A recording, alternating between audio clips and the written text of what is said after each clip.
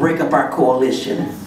This is not a time for blacks to be uh, being anti-immigrant, hating Mexicans, and for white people to talk about the, those folks, those women who are getting benefits. This is what they're dependent on, dividing and conquering. This is now a time, it's more important now than ever for us to stick together, my brothers.